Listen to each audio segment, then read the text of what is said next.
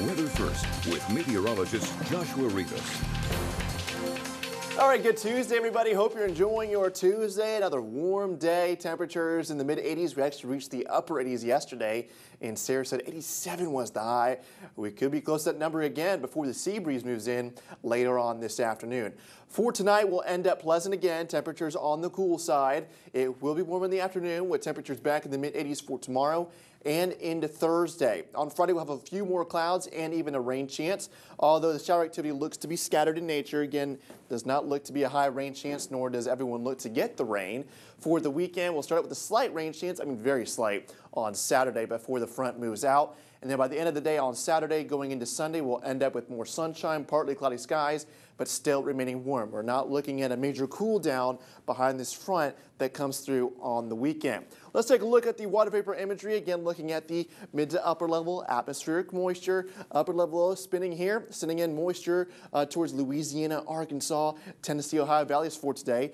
Different. Uh, it was over Houston and a lot of moisture. Uh, very moist area yesterday. A little bit less moist uh, as it streams in from the south. Much better news for Houston today as some drier air moving in from the west.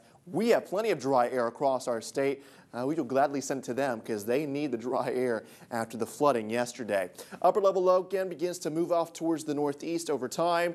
Uh, upper level ridge begins to weaken. Trough coming down just a little bit, not very deep. Again, we're not expecting a major cool down. The trough is easily gone by next Monday, and then we'll be back into the warmth and mild conditions for the beginning half of next week. For dry for today, for tomorrow, and Thursday as well. Again, you can see here, here comes the front moving off from west to east. The moisture increases very quickly on Friday. Then by the end of the day, the end of the day on Saturday. Dry air is back in place and going into Sunday as well. More partly cloudy though. And again, we're not expecting a major cool down coming in behind this front. We're starting off relatively cool and nice for today and for tomorrow morning. And as we go into the afternoons, still warm 80s to the foreseeable future. Not looking at an extended forecast showing off a cool down with temperatures in the 70s. Looks like the 80s are here to stay as we begin to make our way towards the summertime uh, later on in May. Otherwise, uh, cooler temperatures well towards our north. We stay mild all the way into the end of the weekend.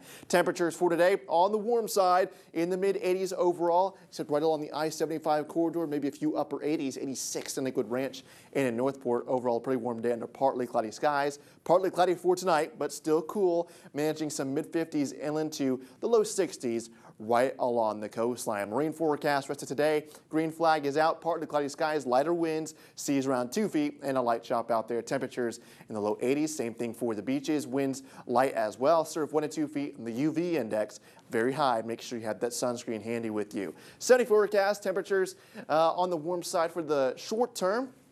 And I mean, it's still going to be pretty warm, but we're talking about warmer for the first half of the forecast period. And then for the weekend, maybe some low 80s back in the forecast. There's that rain chance on Friday, not all that high. And then next week, take out the rain chance again, remain partly cloudy. Temperatures back in the mid 80s. Lows coming up, or at least staying in the mild category as we go into next week. Now, the web weather updates coming up later on today.